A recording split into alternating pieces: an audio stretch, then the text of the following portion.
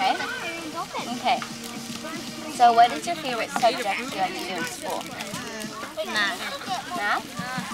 What's your favorite? I like music. Thank you for asking me. Okay.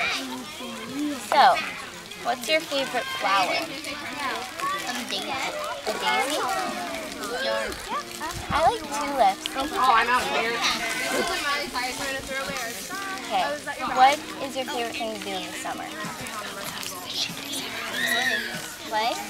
Like play at home? Yeah? I like to swim. Thank you for asking. What's your favorite thing to eat for dessert? Okay, nip tunes, guys. Wait,